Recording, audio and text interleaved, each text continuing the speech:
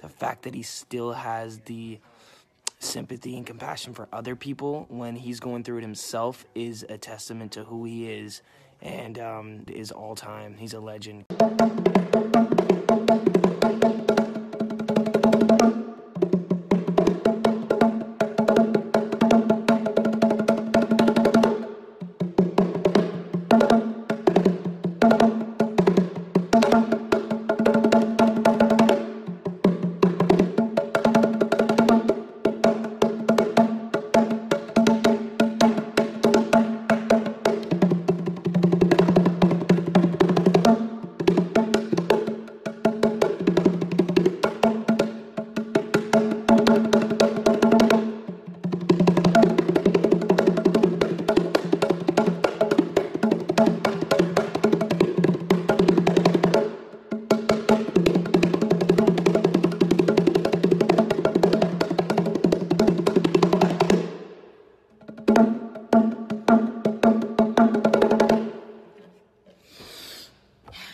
So um, I'm going to have a conversation with some people and we are going to get moving on um, a solution. Um, obviously, I'm not a fireman, but I can um, use my resources to um, figure out ways to get some sort of restoration in certain communities and um, fundraisers or whatever we can do. So um, I am going to get on that. And in the meantime, all the families and all the people who are struggling just know that um, everything's going to be okay. And um, yeah.